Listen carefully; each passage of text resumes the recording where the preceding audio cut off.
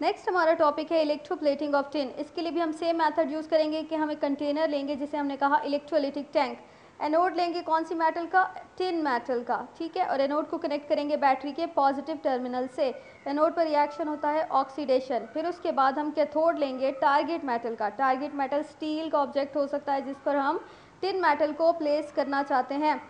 तो ये कैथोड पर चार्ज होता है नेगेटिव चार्ज और कैथोड पर प्रोसेस होता है रिडक्शन इलेक्ट्रोलाइट कौन से मेटल का लेंगे? कौन सी मेटल होगी? टिन मेटल का। टिन मेटल का कोई भी सॉल्ट जब हम पानी में डिज़ोल्व करेंगे तो वो काम करेगा इलेक्ट्रोलाइट के तौर पर।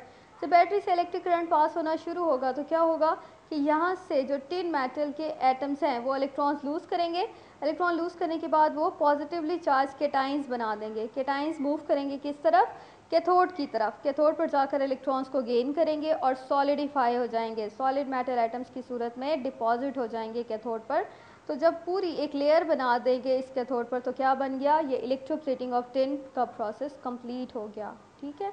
यहाँ तक हम पढ़ चुके हैं।